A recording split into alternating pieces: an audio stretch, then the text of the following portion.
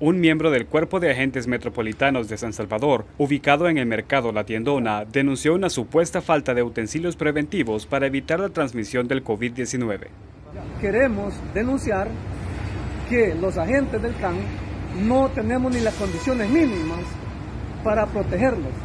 Carecemos de, de guantes, carecemos de mascarillas, las mascarillas que tenemos las estamos comprando, los guantes que tenemos los estamos comprando el agente aseguró que han recibido guantes de manera irregular. Por esa razón, instó a la Procuraduría de Derechos Humanos a que revisara las condiciones de trabajo del organismo de seguridad de la capital.